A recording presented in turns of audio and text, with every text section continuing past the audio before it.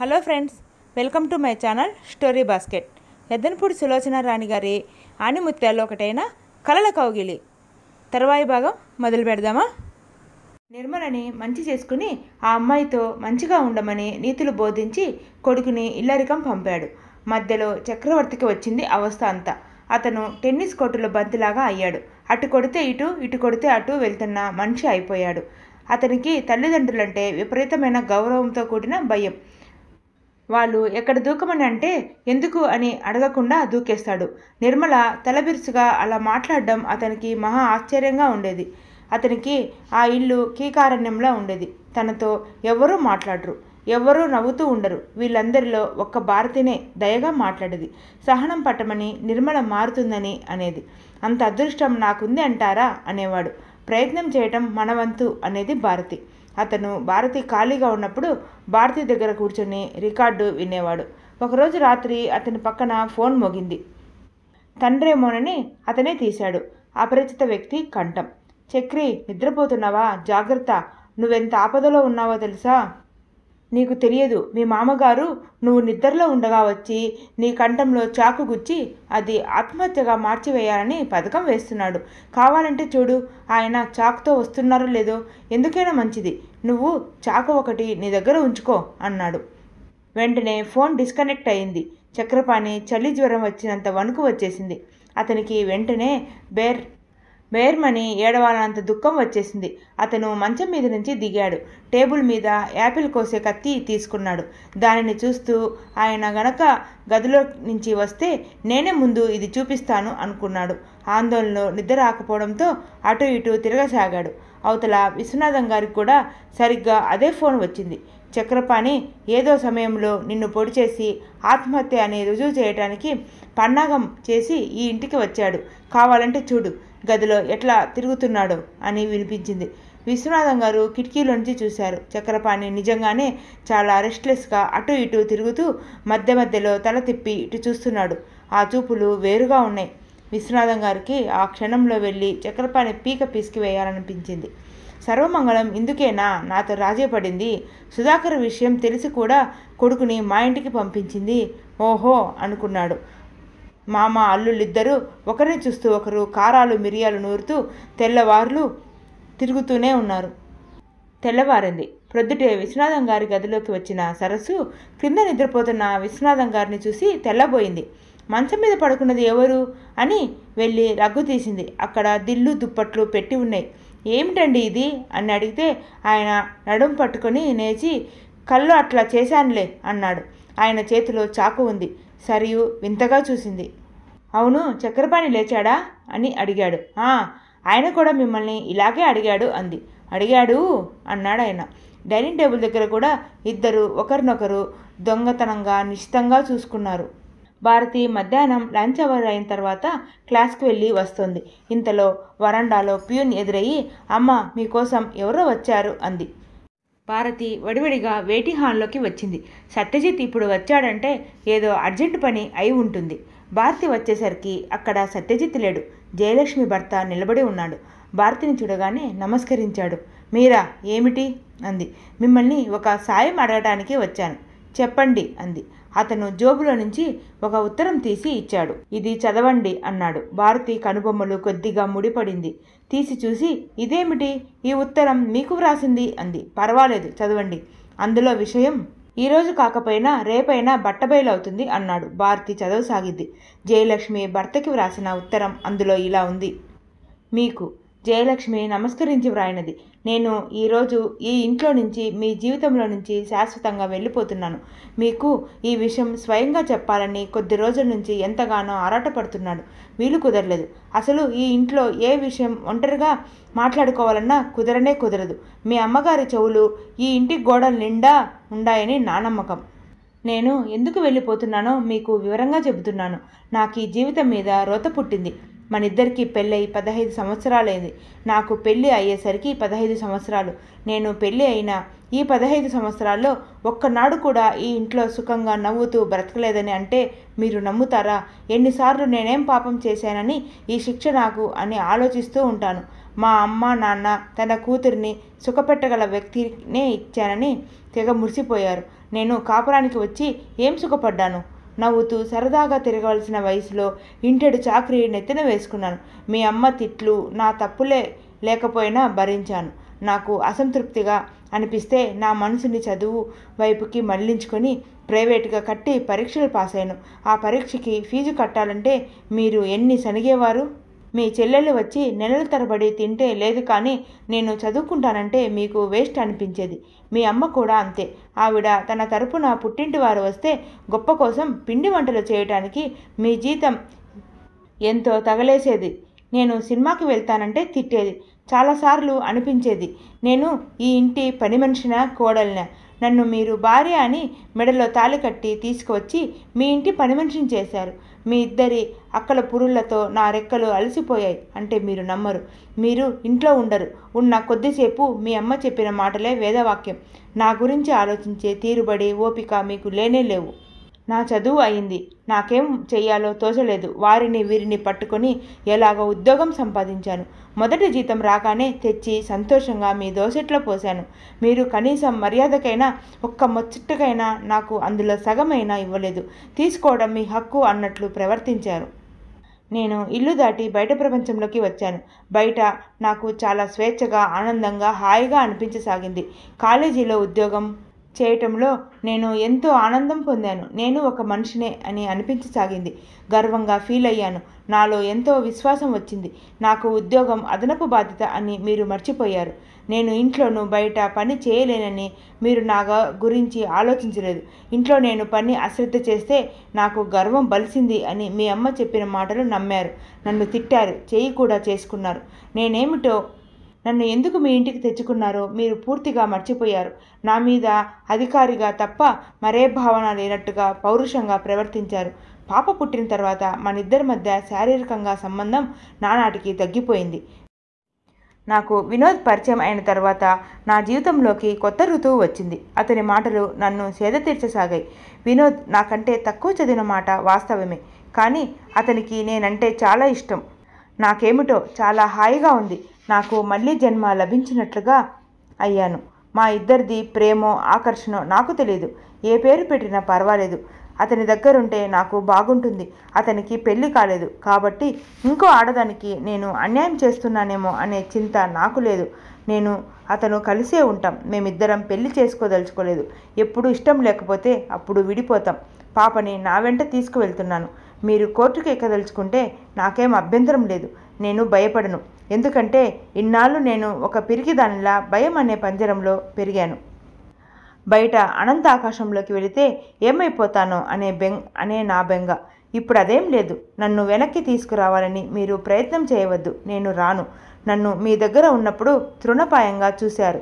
నేను వెళ్ళిపోతే అడిగే హక్కు మీకు లేదు. నేను మిమ్మల్ని క్షమాపణ కోరను. ఎందుకంటే నేను మీతో పడిన బాధ నుండి నేను ఇప్పుడు మిమ్మల్ని పెట్టిన బాధ చాలా కొద్దిది. అని నా నమ్మకం. నా గురించి మీరు మర్చిపోండి. ఇట్లు జయలక్ష్మి. భారతి చదివి తలెత్తింది. అతను నిలబడి శూన్యంలోకి చూస్తున్నాడు. ఇందులో నేనేం సాయం చేయగలను? అంది భారతి. అతను భారతి వైపు తిరిగాడు. ఆ కళ్ళల్లో బాధ తుఫాన్లా కనిపిస్తోంది. జయలక్ష్మి ఒట్టి పిచ్చిది. ఈ పైత్యం అంతా ఆ వినోద్ గాడే ఎక్కించాడు. మీరు వెళ్ళి కొంచెం నచ్చజెప్పండి. నేనా? అవును మీరే. మీరు చెబితే వింటుందని నా నమ్మకం. ఏం చెప్పమంటారు? నలుగురిలో నవ్వుల పాలు కాకుండా ఇంటికి తిరిగి రమ్మనమని. ఆమె వినే ధోరణిలో లేదని ఇందులో తెలుస్తోంది కదా? ఉత్తరం చూపిస్తూ అంది. వింటుంది. చెప్పేవాళ్ళు లేకనే అలా చెడిపోయింది. ఏదో బంధువుగా వస్తున్నాడు కదా అనుకున్నాను ఆ వినోద్గాడు. ఆ వినోద్గాడు ఇంత పని చేస్తాడని అనుకోలేదు. నేను జయలక్ష్మిని నయాన గాని భయాన గాని ఇంటికి తెచ్చుకోవాలి. లేకపోతే బ్రతకలేను. నా బంధువులు అక్కా చెల్లెలు నన్ను బ్రతకనివ్వరు. అది అతని బాధ. పదహైదు సంవత్సరాలు కాపురం చేసిన పెళ్ళం వెళ్ళిపోయినందుకు కాదు. వాళ్ళు వాళ్ళు నవ్వుతారట. భారతికి కోపం వచ్చింది. అతను ఆవేశంగా అంటున్నాడు. నా కూతురు ఎక్కడా ఉండటానికి వీల్లేదు అంతగా జయలక్ష్మి రానని అంటే శాంతిని నా దగ్గరికి తెచ్చుకొని నేను వేరే పెళ్ళి చేసుకుంటాను. ఆ మాటల్లో ఎంత అహం! జయలక్ష్మి ఇతనితో పదహైదు సంవత్సరాలు అసంతృప్తిని భరించింది. ఇతను ఒక్క రెండు రోజులు జయలక్ష్మి కనిపించిన అశాంతిని భరించలేకపోతున్నాడు. ఎంత త్వరగా నిర్ణయాలు చేసేస్తున్నాడు? మీకు ఒక్కసారి దయ ఉంచి మా సంసారం కోసం ఈ సాయం చేసి పెట్టండి. నేను మాట్లాడతాను.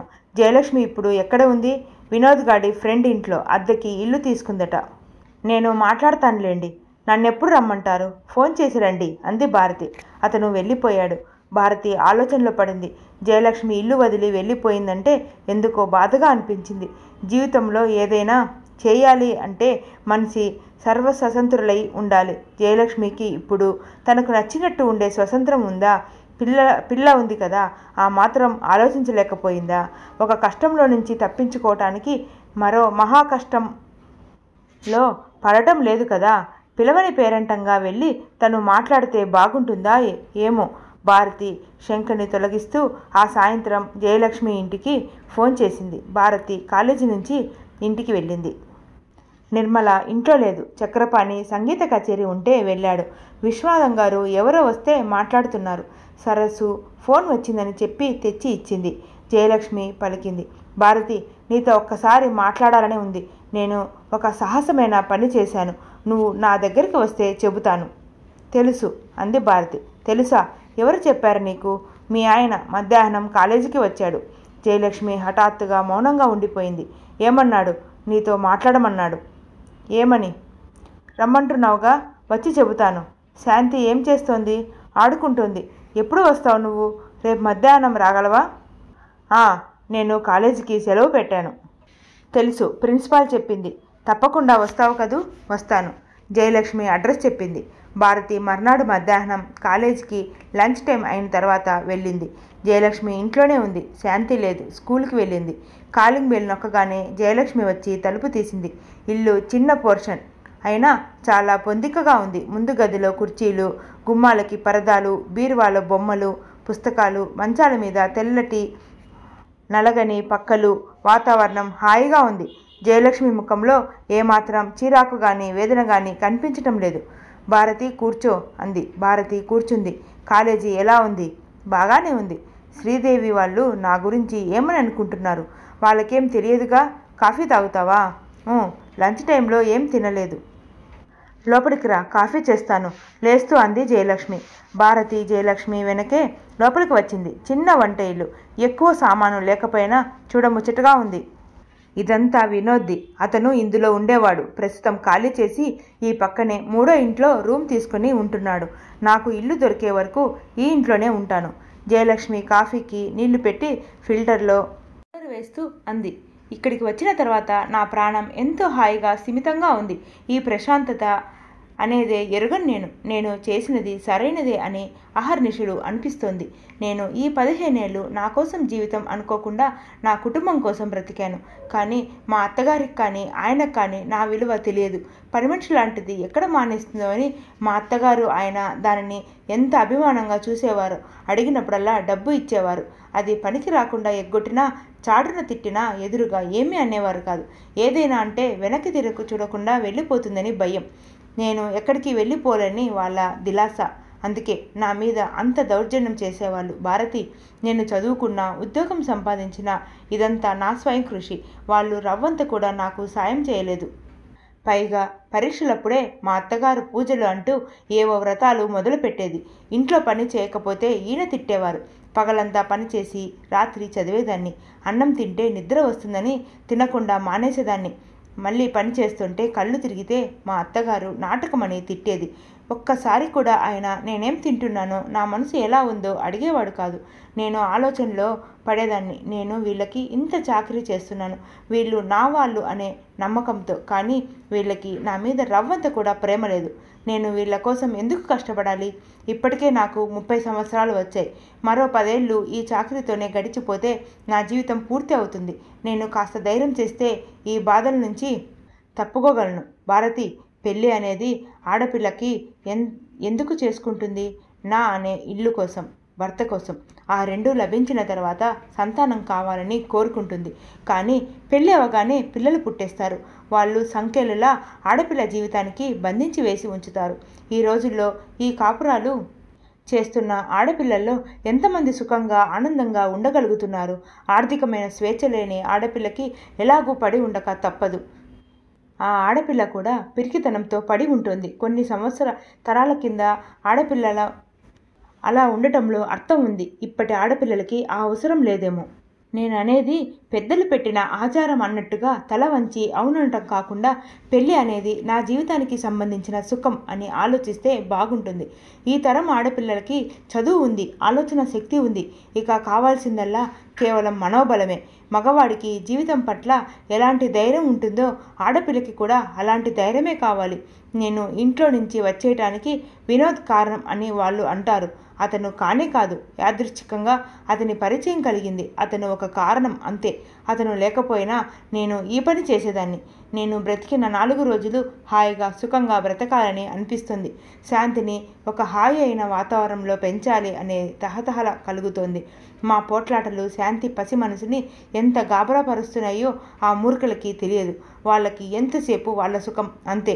కొన్నాళ్ళు ఇలా దూరంగా ఉంటేనైనా వాళ్ళకి నా విలువ తెలుస్తుందేమో అని నా ఆశ. తెలియకపోయినా పర్వాలేదు. నేను ఒంటరిగా బ్రతకగలను. ఈ ప్రపంచంలో ఇంతమంది ఒంటరి వాళ్ళు ఉన్నారు వారిలో నేను ఒకదాన్ని అనుకుంటాను. జయలక్ష్మి కళ్ళు తుడుచుకుంటూ అంది. కానీ జయలక్ష్మి ఇప్పుడు బాగానే ఉంది. ఈ ఇల్లు ఈ వాతావరణం చూస్తే నువ్వు చేసిన దాంట్లో తప్పేం లేదు అనిపిస్తుంది. ఇప్పుడు బాగానే ఉంటుంది. లోకం ఏమన్నా నువ్వు లెక్క చేయవు. పర్వాలేదు. కానీ శాంతి రేపు శాంతి పెద్దది అయితే పెళ్ళి జయలక్ష్మి తల విదిలించింది. అది నేను ఆలోచించాను. శాంతిని అర్థం చేసుకున్నవాడే వస్తాడు. ఆ భయం నాకు లేదు. శాంతిని అలా ధైర్యంగా ఉండేలా పెంచేటట్టు నేను జాగ్రత్త పడతాను. మీ ఆయనకి ఏం చెప్పమంటావు? దయించి నా జోలికి రావద్దని చెప్పు. నా బ్రతుకు నన్ను బ్రతకని. ఆయన శాంతిని కావాలని అంటున్నాడు. జయలక్ష్మి ఒక్క నిమిషం ఆగింది. ఆ తర్వాత అంది శాంతిని అడగమను. అది వెళ్తానంటే నాకేం అభ్యంతరం లేదు. చిన్నపిల్ల దానికేం తెలుస్తుంది జయ? చిన్నపిల్లే అసలు ఇలాంటి రగడ అంతా చూడాల్సి రావటం దాని దురదృష్టమే. చిన్నపిల్ల అయినా తనని బాగా చూస్తారో బాగా అర్థం చేసుకోగలదు. శాంతి ఈరోజు కావాల్సి వచ్చింది. తన కూతురు అని తెలిసింది ఒకనాడు. దాని గురించి పట్టించుకున్నారా? ఒక్క రోజున దాని చదువు ఏమిటో చూసారా దానికి జ్వరం వస్తే నేనే డాక్టర్ దగ్గరికి తీసుకువెళ్ళేవాళ్ళు దాన్ని. నేను రాత్రంతా మేల్కొనేదాన్ని. స్కూల్లో సీటు సంపాదించాలంటే నేను ఫ్రెండ్స్ని పట్టుకొని ఆ స్కూళ్ళ చుట్టూ తిరిగాను. ఈరోజు ఆయనకి శాంతి కావాల్సి వచ్చింది. ఎందుకు? నా మీద కసి తీర్చుకునేందుకు. నా ఆయువు పట్టు శాంతి అని తెలుసు. దాని మీద చావు దెబ్బ కొట్టడానికి తీసుకెళ్ళమను. నాకేం అభ్యంతరం లేదు. కానీ దాని దగ్గర నుంచి ఒక్క కంప్లైంట్ రాకూడదు. దానికి ఒక్కదానికి నాలాగా లోటు లేకుండా చూడమను. శాంతి కావాలట. శాంతి సిగ్గు లేకపోతే సరే. జయలక్ష్మి కళ్ళ వెంట బొటబెటా నీళ్ళు వచ్చేశాయి. వాటిని తుడుచుకుంటూ అంది. ఏనాటి కర్మో? ఇన్నేళ్ళు ఆ నరకం పడ్డాను. ధైర్యం చేసి తెంచుకొని బయటికి వచ్చాను. ఇంట్లో ఉన్నప్పుడు విలువగా చూడని వాళ్ళకి బయటికి పోతే నా జోలికి ఎందుకట? భారతి జయలక్ష్మిని చూస్తుంది. బయటికి సరా సరదాగా తిరుగుతూ ఉండే ఈ అమ్మాయిలో ఎంత మదన ఉంది? ఈ సంగతి ఎవ్వరికీ తెలియదు. అవును. ఈ ప్రపంచానికి మనిషి బయటికి ప్రదర్శించే వేషభాషలే కావాలి. వారి ఆంతర్యం అవసరం లేనే లేదు. అందుకే మనిషి మనసు ఒకటి అయితే బాహ్య ప్రదర్శన ఇంకోటి అవుతుంది. జయలక్ష్మి బాధ చూస్తే నిజంగా జాలి వేస్తుంది. భారతి వచ్చేటప్పుడు జయలక్ష్మిని కాపురం వదులుకోవద్దని అది మంచిది కాదని చెప్పాలనిపించింది. ఇప్పుడు జయలక్ష్మి ఉన్న పరిస్థితులు ఆమె నిర్ణయాలు వింటే జయలక్ష్మి ఈ పని త్వరపడి కానీ వినోద్ మోజులో పడి కానీ చేయలేదని స్పష్టంగా తెలుస్తోంది. ఆ అమ్మాయిలో జీవితంతో పోరాడి అలసిపోయిన ఆవేదన కనిపిస్తుంది. బ్రతుకులో మిగిలిన కొద్ది రోజులైనా సుఖంగా నిశ్చింతగా గడపాలనే ఆవేదన ప్రస్ఫుటం అవుతోంది. నే వెళ్తానిక భారతి లేచింది. జయలక్ష్మి కూడా కప్పు పక్కన పెట్టి లేచింది. నేను తప్పు పనేం చేసినట్టు భయపడటం లేదు బాధపడటం లేదు. నన్నెవరు ఏమన్నా లక్ష్య పెట్టను. భయం దేనికి? ఎవరు ఏమిటి నీకేమిటి? నీ అంతరాత్మే నీకు ముఖ్యం అంది భారతి. జయలక్ష్మి భారతిని వీధి వాకిటి వరకు వచ్చి సాగనంపింది. భారతి బయటికి వస్తుంటే శాంతి స్కూల్ బ్యాగ్ భుజాన వేసుకుని ఎదురు వచ్చింది. తల్లిని చూడగానే మమ్మీ అంటూ పరిగెత్తుకు వచ్చింది. జయలక్ష్మి దగ్గరకు తీసుకుని ముద్దు పెట్టుకుంది. శాంతి తల్లి గడ్డం పట్టుకొని అడిగింది. మమ్మీ అన్నం తిన్నావా? కాఫీ తాగావా? ఊ తల తిప్పుతూ ఎడవలేదుగా ఊహు. జయలక్ష్మి కళ్ళలో తడి మెరుస్తోంది. భారతి ఆ ఇద్దరిని చూస్తుంది. జయలక్ష్మి మనోధైర్యం ఎక్కడో భారతికి తెలిసిపోయింది.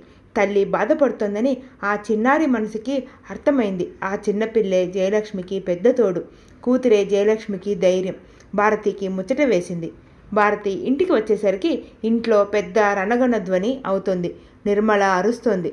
నేను వెళతాను. నేను వెళతాను నా ఇష్టం. నువ్వు వెళ్ళటానికి వీల్లేదు. చక్రపాణి కూడా అరుస్తున్నాడు. కాదనటానికి నువ్వెవరివి? నిన్ను చేసుకున్న మొగుడిని నువ్వు నాకేం మొగుడివి కాదు. మా నాన్నకి అల్లుడివి అంతే. నువ్వు నా మీద ఇష్టంతో నన్ను చేసుకోలేదు. మా నాన్న డబ్బు మీద మోజుతో చేసుకున్నావు. చూసారా చూసారా ఆ మాటలు? నేనంటే అసలు లెక్కలేదా? విలువ అనేది సర్వమంగళం గారి అబ్బాయి అయితేను విశ్వనాథం గారి అల్లుడు అయితేను రాదు. వ్యక్తిత్వాన్ని బట్టి వస్తుంది. ఇప్పుడు నాకు వ్యక్తిత్వం లేదు అంటావు. అంతేగా? ఉంటే నేను ఇష్టం లేదని చెబుతున్నా ఇట్లా మాట్లాడి పడి ఉండవు. అప్పటికే అక్కడికి వచ్చిన భారతి నిర్మలను పట్టుకొని గదిలోకి తోసింది. అబ్బా నీళ్ళు ఈ మధ్య నీ నోటికి మరీ హద్దు లేకుండా పోతుంది. సుధాకర్ పోయినప్పుడే నా నోటికి మంచితనం హద్దు రెండూ పోయాయి. నువ్వు కాసేపు మాట్లాడకు. భారతి నీలుని బలవంతంగా గదిలో వేసి తలుపు మూసేసింది. చక్రపాణిని ఏమైంది ఏమిటి గొడవ అని అడిగింది. చక్రపాణి అప్పటికే జోబులో నుంచి రుమాలు తీసుకొని కళ్ళజోడు తీసి కళ్ళు గట్టిగా తుడుచుకుంటున్నాడు. నిర్మల ఫ్రెండ్స్తో ఊటీ వెళ్తాను అంటోంది. వద్దని అన్నాను. ఆమెని ఆపమని విశ్వనాథం గారు అంటారు. వెళ్ళనీయొద్దని మా నాన్న అంటారు. నేను నోరు తెరిస్తే చాలు. ఈవిడ గారు నన్ను శాపనార్థాలు పెడుతుంది. నాకు వ్యక్తిత్వం లేదంట. నేను చేతగానివ్వనంట ఆమె ఇష్టం. ఆమె నోరుకి అడ్డు లేదు. ఆమెని ఆపేవారు లేరు. మీరు ఇలా పోట్లాడుకుంటే ఎలా? నౌకర్ల ముందు నవ్వుల పాలుగా ఉండదు అంది భారతి. అప్పటికే గుమ్మం పక్కన పొంచి నిలబడి వినోదంగా చూస్తున్న నౌకర్లు భారతిని చూడగానే మెల్లగా తప్పుకొని వెళ్ళిపోయారు. నన్నేం చేయమంటారు? నేనేం మాట్లాడినా తను పోట్లాడుతోంది. మీరు నీలుని మంచితనంతో మాలిమి చేసుకోవాలి. అతను దండం పెట్టేశాడు. నా వల్ల కాదు. నేను అసలు మొదటే డబ్బున్న అమ్మాయిని చేసుకోను అన్నాను. మా నాన్న నిర్మల అలాంటి పిల్ల కాదని చాలా మంచి అమ్మాయి అని అన్నారు. నేను వాళ్ళ మాట విన్నందుకు మంచి శాస్తి జరిగింది. జన్మలో వాళ్ళ మాట ఇంకెప్పుడు వినను. చక్రపాణి వెళ్ళిపోయాడు. అల్లుడు గారు పాపం పొద్దుటి నుంచి కాఫీ అయినా తాగలేదు అంది సరస్సు బాధగా. ఇంట్లో నౌకర్లందరికీ నిర్మల చక్రపాణిల పోట్లాట వినసొంపుగా ఉన్నాయి. ఇది వరకు తండ్రి కూతుల మధ్యనే ఈ తగాదే ఉండేది ఇప్పుడు ఇంకో మూడో వ్యక్తి వచ్చి కలిశాడు. నాటకం ఇంకా రక్తి కడుతున్నట్టుగా రసవంతంగా ఉంది. భారతి నిర్మల గదిలోకి వచ్చింది. నిర్మల సూట్ కేసులో బట్టలు సర్దుకుంటోంది. నీళ్ళు ఎక్కడికి వెళ్తున్నావు? అంది భారతి. ఊటీ ఎప్పుడు వస్తావు? ఎప్పుడు రావాలనిపిస్తే అప్పుడు. నీళ్ళు నీ ప్రవర్తన ఏం బాలేదు. నాకు తెలుసు దానికి నేనేం బాధపడటం లేదు. ఎన్నాళ్ళు ఇలా చెప్పు? నేను చచ్చేంత వరకు. సరేనా? బట్టలు సర్దుతున్న నీళ్ళు హఠాత్తుగా మంచం మీద కూర్చుంది. వదిన నేను ఈ ఇంట్లో ఉండను. అసలు ఈ ఊర్లోనే ఉండను. గోవాలో నా ఫ్రెండ్ అక్క ఉంది. అక్కడ చాలా బాగుంటుందట. నన్ను అక్కడికి పంపించి వేయమని డాడీకి చెప్పు. నీలు ఏమిటి ఆ మాటలు? ఒక్కగానొక్క పిల్లవి. తండ్రిని వదిలేసి వెళ్ళటం ధర్మమా? ఏం తండ్రిగా ఆయన నా బాధ గురించి ఆలోచించాడా? నా సుఖ సుఖం ఆలోచించాడా? అలా ఆలోచించి ఉంటే సుధాకర్ని తీసుకొచ్చి నాకు పెళ్ళి చేసేవాడు. ఆయనకి నా సుఖం సంతోషం అవసరం లేదు. ఆయనకి కావలసిందల్లా డబ్బు. ఆ డబ్బే ఆయనకి సర్వస్వం. అది ఉందిగా? హాయిగా ఉండమను. ఆయన హాయి కోసమే సుధాకర్ని చంపించాడు. నీళ్ళు ఏడ్చేసింది. నీళ్ళు ఎందుకంత పొరపాటుగా ఆలోచిస్తావు? సుధాకర్ యాక్సిడెంట్లో మరణించాడు. దానికి మామయ్య బాధ్యత లేదు. నిర్మల చరాలు నా తలెత్తి చూసింది. నీళ్ళతో తడిచిన ఆ కళ్ళు మంకిన పూలలా ఎర్రగా తీక్షణంగా చూశాయి సుధాకర్ యాక్సిడెంట్లో చచ్చిపోయాడా? నువ్వెంత పిచ్చిదాని వదినా? నేను అనవసరంగా డాడీ మీద మండిపడుతున్నానని కదూ నీ ఉద్దేశం? నిర్మల చటుక్కడ లేచి వెళ్ళి అల్మారాలో లాకర్లో రహస్యంగా దాంచి ఉంచిన ఒకటి తెచ్చి భారతి మీద పడేస్తూ అది చదువు నీకే తెలుస్తుంది అంది. భారతి అది తీసుకొని చదివింది. అందులో విశ్వనాథం గారు స్వదస్తూరితో రాసిన ఉత్తరం ఇలా ఉంది. నువ్వు మాటి మాటికి డబ్బు కోసం రావద్దు. ఎంత కావాలో చెప్పు. నేనే నీకు ఇంకెక్కడైనా అందజేసే ఏర్పాటు చేస్తాను. సుధాకర్ మరణం గురించి కేసు రాదు. ఆ బందోబస్తు నేను చేస్తాను. నువ్వు ఈ విషయం ఫోన్లో కూడా నాతో మాట్లాడవద్దు. నువ్వు కోరినంత మొత్తం నీకు నువ్వు అడిగినట్టే ఒకేసారి ఇస్తాను. విశ్వనాథం గారి సంతకం గీసినట్టుగా పెట్టాడు. ఆయన చేతివ్రాత తెలియకపోతే అది ఆయన ఉత్తరమని ఎవరూ అనుకోరు. ఇది చూడగానే భారతి ముఖం వెలవెలపోయింది మామయ్య ఇంత పని చేశాడా? సుధాకర్ని చంపించాడా? ఆయనలో ఇంత నీచత్వం ఉందా? ఇప్పుడు చెప్పు వదిన నా క్షోభ నీకు అర్థమవుతోందా? సుధాకర్ది సహజంగా యాక్సిడెంట్లో మరణం మరణిస్తే నేను నాన్నని బాధ పెడతానా? అంత ఆలోచన లేనిదాన్నా అతను ఈ ఉత్తరం నాకు పంపాడు. ఫోన్ చేశాడు. నేను షటప్ అని పెట్టేశాను. ఇంకేం మాట్లాడలేదు. నా ఆనందాన్ని హరించిన ఆ మనిషి నాకు తండ్రి అని చెప్పుకోవాలన్నా సిగ్గుగా ఉంది. సుధాకర్ మరణం నష్టం నాకెంత ఉందో ఆయన కు అంతకు రెట్టింపు నష్టం కలిగేలా చేయాలని కసిగా అనిపిస్తుంది. నేను ఈ పెళ్ళి సంతోషంగా ఒప్పుకున్నానని అనుకున్నావా? సుధాకర్ని ఇంత త్వరగా మర్చిపోయానని అనుకున్నావా? నాన్న మీద కసి తీర్చుకోవటానికి నేను ఈ పెళ్ళికి ఒప్పుకున్నాను. వాళ్ళెవరికో నన్ను అంటగట్టాలని కదా ఆయన తాపత్రయం? వాళ్ళ మూలంగానే ఆయనకి చెప్పుకోలేనంత బాధ కలగాలని నా ఆరాటం. చక్రపాణి చూస్తేనే నాకు అసహ్యం. అతను ఎందుకు ఇక్కడ ఉండడం? వెళ్ళిపోడే. నీలు అతన్ని ఏమి అనకు అంది. అతన్ని నా జోలికి రావదని చెప్పు. నేను కూడా ఏమి అనను. నేను ఊరు వెళ్తున్నాను. నాన్నను డబ్బు ఇమ్మని చెప్పి సరస్సు చేత కబురు చేశానులే. ఇవ్వనని అన్నాడట ఆయన ఇవ్వనంత మాత్రాన నా ప్రయాణం ఆగదులే అంది. ఆ సాయంత్రం నిర్మల నిజంగానే స్నేహితులతో ఊరు వెళ్ళిపోయింది. చేతి గాజులు అమ్మేసింది అని సరస్సు చెప్పింది. ఆ మాట వినగానే విశ్వనాథం గారు తల పట్టుకొని కూలబడ్డాడు. పది నిమిషాల తర్వాత ఆయన లేచి చెరచెరా వచ్చి నీ భార్యను ప్రయాణం నుంచి ఆపుకోలేకపోయావు. నువ్వేం మొగుడివి? అన్నాడు. చక్రపాణి మాట్లాడలేదు. విశ్వనాథం గారు వెళ్ళిపోయారు. చక్రపాణి అలాగే కూర్చున్నాడు. కొద్దిసేపు అయిన తర్వాత భారతి అతని గదిలోకి వచ్చింది. చక్రపాణిని ఏం చేస్తున్నారు? అంది. ఏం తోచనప్పుడు ఇద్దరు పేకాట ఆడతారు. చక్రపాణి ఈరోజు సుముఖత చూపించలేదు. ఈ నరకంలో నుంచి ఎలా తప్పించుకోవటమా అని చూస్తున్నాను అన్నాడు. ఆ సాయంత్రం ఇంటి నుంచి వెళ్ళిన చక్రపాణి మళ్ళీ తిరిగి రాలేదు. ఆ రాత్రి రాకపోతే వాళ్ళ ఇంటికి వెళ్ళాడని అనుకున్నారు. మర్నాడు అతను రాలేదు. ఆ సాయంత్రం విశ్వనాథం గారు కూర్చొని చదువుకుంటుంటే బూట్లు టకటకలాడించుకుంటూ పోలీసు అధికారులు వచ్చారు. చక్రపాణి ఆ క్రితం రోజు రాత్రి హోటల్ రూమ్ తీసుకుని వెళ్ళి పడుకున్నాట అతను అప్పుడప్పుడు వచ్చి అలా పడుకొని వెళ్ళిపోయేవాడుట. ఆ రోజు రాత్రి రాత్రి నిద్రలో లేవలేదు. సర్వర్ కాఫీ తీసుకొని వెళ్తే తలుపు ఎంత తట్టినా తీయలేదు. హోటల్ అధికారులకి అనుమానం వచ్చి పోలీసులకి ఫోన్ చేశారు. వాళ్ళు వచ్చారు. బలవంతంగా తలుపులు తెరిస్తే చక్రపాణి మంచం మీద మృతుడై ఉన్నాడు. స్లీపింగ్ పిల్స్ మింగాడు. తల్లిదండ్రులకి ఫోన్ చేయమని కోరాడు విశ్వనాథం. గారు కానీ నిర్మల కానీ తన శవం చూడని కూడా చూడకూడదని శాసించాడు. పోలీసులు తల్లిదండ్రులకి ఫోన్ చేస్తే వాళ్ళు వచ్చారు. పోస్ట్ మార్టం జరిగింది. పోలీసులకి వ్రాసిన ఉత్తరంలో చక్రపాణి విశ్వనాథం గారి అమ్మాయి తో తన పెళ్ళి ఒక నరకం అని చెప్పాడు. విశ్వనాథం గారు సుధాకర్ని చంపించారని ఆయన పరమ పీనాసి అని కూతురికి నామమాత్రంగా పెళ్ళి చేశాడని తనను కూడా చంపేయటానికి పన్నాగం పండుతున్నట్టుగా ఒక అజ్ఞాత వ్యక్తి ఫోన్ ద్వారా తెలిసిందని వ్రాశాడు. ఇంటికి వెళితే తల్లిదండ్రులు తనని రానియటం లేదు. ఇక్కడ ఉంటే సుఖం లేదు. ఎక్కడికైనా పారిపోయి పారిపోయినా వీళ్ళు పట్టుకు వస్తారు. అలా ఒకసారి ఇప్పటికే జరిగింది కూడా. ఆత్మహత్య తప్ప తనకి మార్గం కనిపించలేదని వ్రాశాడు. ఆ ఉత్తరం చదవగానే విశ్వనాథం గారు వణికిపోయారు. తనకేం తెలియదని అన్నారు. ఈ వార్త పేపర్లోకి ఎక్కింది. నా కొడుకుని ఈ పెళ్ళి పేరుతో ప్రాణం తీసుకునేలా చేశావా విశ్వనాథం? నీ అంతు కనుక్కుంటాను అంటూ సర్వమంగళం గారు రంకెలు వేశారు. ఊటీ నుంచి నిర్మల వచ్చింది. పోలీసులు అడిగిన వాటికి పెడసరంగా జవాబు చెప్పింది. తన తండ్రి సుధాకర్ని చంపించిన మాట వాస్తవమేనని ఉత్తరం ఇస్తానంది కానీ ఆ ఉత్తరం దొరకలేదు. ఈ కోర్టులో కేసు బంధువుల్లో ఆయన స్నేహితుల్లో ఒక పెద్ద కథ అయిపోయింది. విశ్వనాథం గారి గురించి రకరకాల కథలు ప్రచారం అయ్యాయి ఆయన కోర్టు కేసులతో తన కూతురు తన నిర్దోషి అని నిరూపించుకొని బయటపడేసరికి కొన్ని లక్షలు ఖర్చు అయ్యాయి తల ప్రాణం తోక్కి వచ్చినంత పనైంది. చక్రపాణి పోయాడనేసరికి నిర్మల కూడా కంగుదింది. అతని మరణానికి తన ప్రవర్తన దారి తీసింది అనే సత్యం తట్టుకోలేకపోయింది.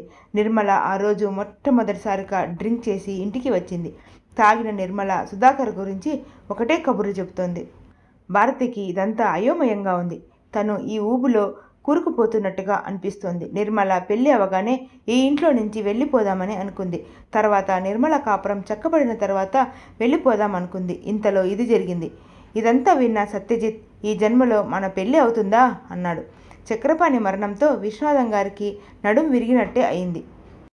ఆ కేసుకి ఎంతో డబ్బు ఖర్చయింది. నిర్మల పెళ్ళి చక్రపాణి చావు అంతా ఆయన ఎంతో కష్టపడి నిలువ చేసుకున్న డబ్బు వేళ్ళ మధ్య నీరులా కారిపోయింది. ఆయనకి చాలా బాధగా ఉంది. డబ్బు పోగా పైనుంచి సుధాకర్ని తానే చంపినట్టు అపవాదులు ఆయన భరించలేకపోతున్నాడు. సుధాకర్ దయ్యమయ్యి తనని ఈ విధంగా పీకు తింటున్నట్టుగా అనిపించింది. ఆయన ఏం ఆలోచించాడు? నిర్మలకి పెళ్ళి చేస్తే వాళ్ళతో కలిసి హాయిగా ఉండవచ్చు అనుకున్నాడు. తన ఒంటరితనం తీరుతుంది అనుకున్నాడు. తను ఇంత కష్టపడి సంపాదించిన డబ్బుకి ఒక కాపలాదారిని ఏర్పాటు చేయవచ్చు అనుకున్నాడు.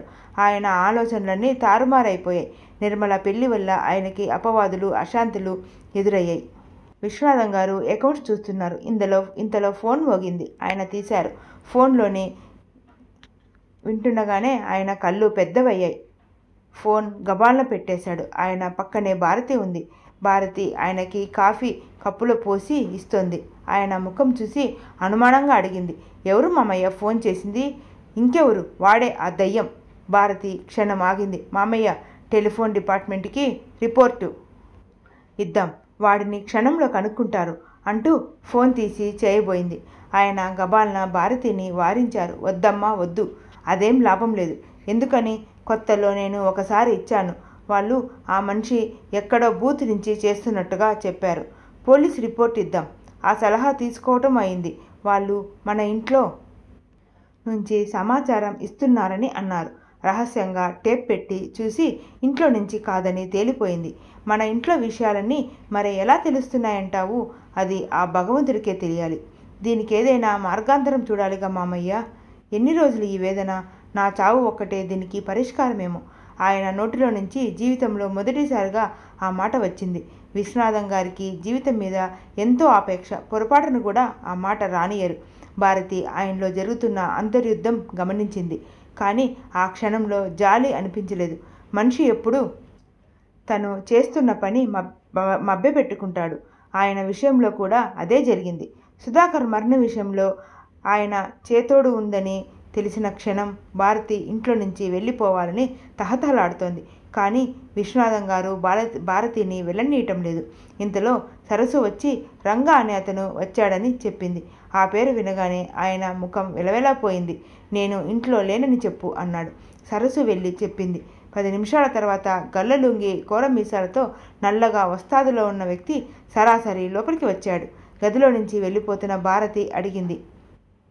అతను అలా చొరవగా ఇంట్లోకి రావటం విచిత్రంగా అనిపించింది. భారతి వెనక్కు తిరిగి వెళ్ళింది. లోపల నుంచి వినిపిస్తున్న మాటలు చోలబడ్డంతో బయటనే ఆగిపోయింది. విశ్వనాథం గారు బ్రతిమాలుతున్నారు.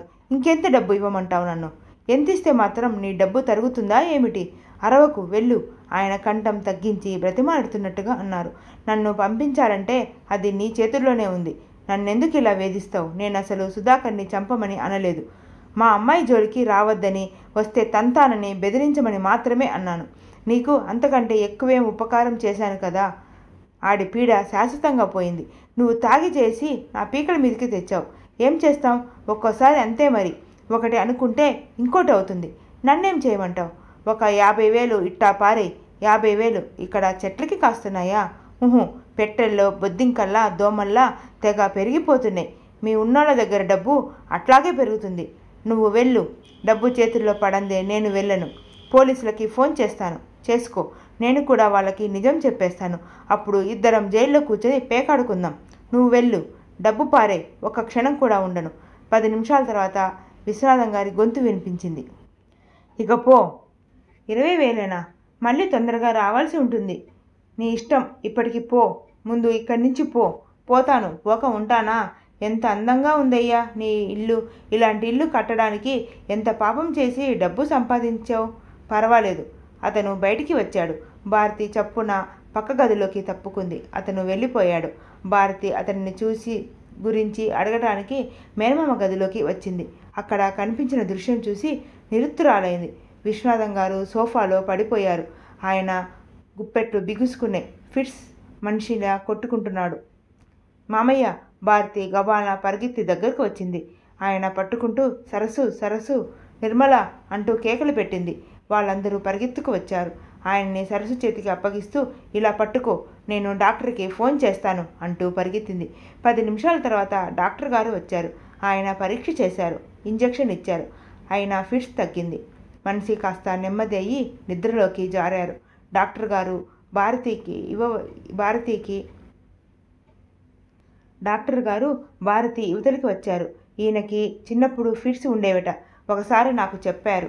అవి ఈ మధ్య కాలంలో పోయాయి. పూర్తిగా పోయాయని అనుకున్నాను. మళ్ళీ ఇలా తిరగబెట్టాయి. ఆయన విశ్రాంతిగా ఉండనీయండి. కూతురి కాపురం గురించి ఆయన చాలా ఆవేదనగా ఉంది. ఆ మందులు టైం ప్రకారం వేయండి అని చెప్పి వెళ్ళాడు. భారతి వచ్చి మేనమామ దగ్గర కూర్చుంది. ఆ క్షణంలో ఆయనను చూస్తే అపరిమితమైన జాలి వేసింది. ఆయనకి డబ్బు సంపాదన తప్ప మరో లోకం లేదు. అందులోనే ఆయనకి ఆనందం తృప్తి. కొంతమందికి డబ్బు ఖర్చు పెట్టడంలో ఆనందం కలిగితే కొంతమందికి డబ్బు దాచుకోవటంలోనూ మరికొంతమందికి దాన్ని సంపాదించటంలోనూ ఆనందం కలుగుతుంది. విశ్వనాథం గారు ఆఖరి కోవకి చెందిన వ్యక్తి. ఆయన బోర్ర అహర్నిశలు డబ్బుని ఎలా రెట్టింపు చేయటమా అనే ఆలోచిస్తూ ఉంటుంది. వ్యాపారంలో ఆయన దగ్గరకు చేరిన మిత్రులకి ఎన్నో రెట్లు డబ్బుని అభివృద్ధి చేసుకునేటట్టు సాయపడ్డారు ఆయన ఆయన కట్టిన ఇల్లు ఆ ఇంట్లో అతి ఖరీదైన సామాను. ఆయన మిత్రులు బలవంతం చేసి కొనిపించినవే. ఆయనకి ఎంత ఖరీదు గల వస్తువుని చూసినా డబ్బు ముందు దాని వెల తక్కువే అనేవాడు. ఆయన బజారుకి వెళితే ఆయన చేతులతో ఒక్క వస్తువు కొనలేడు. ఎందుకంటే ఆయనకి ఏ వస్తువు చూసినా ధర ఎక్కువే అనిపిస్తుంది. డబ్బు దాచుకోవటంలోనే ఆయనకి ఎక్కువ సంతృప్తి ఆనందం లభిస్తాయి. లోకం తనని పీనాసి అన్న ఆయన లక్ష్య పెట్టేవాడు కాదు. ఏడిసిందిలే అన్నట్టు తిరస్కారంగా చూసేవాడు. ఆయన మనసులో కాస్త ప్రేమ ఉన్నది అంటే అది ఒక్క నిర్మల మీదనే. ఆయనకి నీలు సుధాకర్ని చేసుకోవటం ఇష్టం లేదు. సుధాకర్ని బెదిరించడానికి ఏదో చేయబోయి ఇంకో విషయాలయంలో చిక్కుకున్నాడని భారతికి అర్థమైంది. ఆయన ఆ విషయం పైకి చెప్పుకోలేక హతమతమవుతున్నాడు అనిపించింది. భారతి ఆయన మంచం ప్రక్కన పుస్తకం చదువుకుంటూ కూర్చుంది. నిద్రలో ఉన్న ఆయన కదిలారు. మామయ్య భారతి మళ్ళీ పిలిచింది. భారతి ఆయన దీనంగా పిలిచారు. ఏమిటి మామయ్య? నేను సుధాకర్ని చంపమని అనలేదు. ఆ దొంగ వేద వాడే చంపి ఆ హత్యని నా తలకి చూడదామని చూశాడు. నేను ఎలాగో తప్పించుకున్నాను. వాడు ఆ ఘోరం చేసి పైనుంచి జలగల పీక్కు తింటున్నాడు. ఇవాళ ఇరవై వేలు పట్టుకు వెళ్ళాడు. ఇరవై వేలు ఆయన పైకప్పుకేసి చూడసాగారు. భారతి ఆయన చేతి మీద చేయి ఆనించి మామయ్య మీరు నిద్రపోండి. మనం తర్వాత మాట్లాడుకుందాం. నేను సుధాకర్ని చంపించలేదు భారతి. నీళ్ళు నా మీద అనవసరంగా కోపం తెచ్చుకుంది. నువ్వు పడుకో మామయ్య. నాకు చాలా బాధగా ఉంది. నేను చెయ్యని తప్పుకి అందరూ నన్ను శిక్షిస్తున్నారు. నువ్వు నిద్రపో. మనం తర్వాత మాట్లాడుకుందాం. ఆయన కళ్ళు మూసుకోబోయి అంతలోనే తెరిచారు. అంతలోనే భారతిని చూస్తూ నువ్వు ఇక్కడే ఉంటావుగా? అని అడిగారు. ఉంటాను. ఆయన భారతి చేయి పట్టుకుంటూ ఆ దయ్యం గొంతుగాడు ఏం చెప్పాడో తెలుసా? నా ఇంట్లోనే ఎవరో నన్ను హత్య చేయాలని చూస్తున్నారట. అవన్నీ వట్టి బెదిరింపులు. అంతేనంటావా? కాకపోతే ఇంకేమిటి? పోలీసులు టేప్స్ పెట్టినప్పుడు కనీసం గుసగుసలైనా వినరాలేదుగా? అవుననుకో నిద్రపోవటానికి ప్రయత్నం చెయ్యి మామయ్య. నేను లోపల ఎంత బాధపడుతున్నానో నీకు తెలియదు. అసలు నేనేం పాపం చేశాను? డబ్బు సంపాదించడమా? అది నేను ఎవరిని మోసం చేసి సంపాదించలేదే. నా పార్ట్నర్స్ని అడుగు. రూపాయి పైసలతో సహా నేను ఎంత ఖచ్చితంగా ఉంటానో డబ్బు లేని బాధ ఏమిటో నాకు తెలుసు. మామయ్య నువ్వు ఎక్కువ ఆలోచించకూడదని డాక్టర్ చెప్పారు. నువ్వు మరీ ఆలోచించి హైరాణ పడితే చిన్నప్పటి ఆ ఫిట్స్ మళ్ళీ బాగా తిరగబెడతాయట. అంతలోనే ఫోన్ మోగింది. భారతి తీసింది. అవతల నుంచి లాలన నిండిన స్వరం వినిపించింది. హలో స్వీటీ మామయ్యకి ఉపచారాలు చేస్తున్నావా? డాక్టర్ వచ్చారు. ఏమిటి విశేషం? షటప్ భారతి గట్టిగా అని ఫోన్ పెట్టేసింది. వాడు వాడేనా? భారతి తల ఊపింది. ఏమంటాడు? డాక్టర్ వచ్చాడు. ఏమిటి సంగతి? అంటున్నాడు. విషాదం గారు మంచం మీద లేచి కూర్చున్నారు. మన ఇంట్లో జరిగే ప్రతిదీ వాడికి తెలుస్తోంది. ఎలా తెలుస్తోంది? నేను పోలీస్ రిపోర్ట్ ఇస్తానంటే వద్దంటావు అంది నిష్ఠూరంగా. వద్దు భారతి. నేను వాళ్ళతో పడలేను. వాళ్ళు నాకు సాయం చేయబోగా నా దగ్గర నుంచి డబ్బు లాగటానికి చూస్తారు. నేను వాళ్ళతో విసిగెత్తిపోయాను. నేను ఎవరితోనైనా పడగలను కానీ పోలీసులతో మాత్రం పడలేను. ఆయన దండం పెట్టాడు. భారతి మందు తెచ్చి ఆయన చేత తాగించింది. ట్యాబ్లెట్స్ మింగించింది. ఆయన పడుకున్నారు. భారతి లేచి వెళ్ళింది. ఇంతలో ఫోన్ మోగింది. అజ్ఞాత వ్యక్తి లాలనగా అడిగాడు. ఏమ్మా సుస్థి చేసిందా? జాగ్రత్త. నిన్ను హతమార్చాలని అనుకున్నా మాకు ఇప్పుడే మంచి ఛాన్సు. చావు ఎక్కడ ఎలా వ్రాసి పెట్టి ఉందో నీకు తెలియదు. తర్వాయి భాగం వినే ముందు ఫ్రెండ్స్ ఒక చిన్న విన్నపం. మీకు ఈ కథ నచ్చినట్లయితే సబ్స్క్రైబ్ చేయండి షేర్ చేయండి. గంట సింబల్ ప్రెస్ చేస్తే తర్వాతి భాగం నేను పోస్ట్ చేసిన వెంటనే మీకు నోటిఫికేషన్ వస్తుంది. Thank you.